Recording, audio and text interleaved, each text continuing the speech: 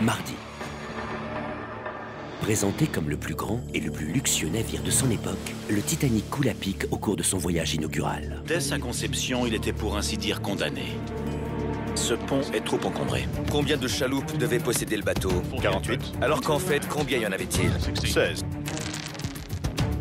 Si vous aviez eu des jumelles, auriez-vous aperçu l'iceberg plus tôt Oui. Un trimord, toutes Après plus d'un siècle de théories sur cette tragédie, la science, soutenue par des témoignages et des simulations par ordinateur, vient contredire de nombreuses légendes.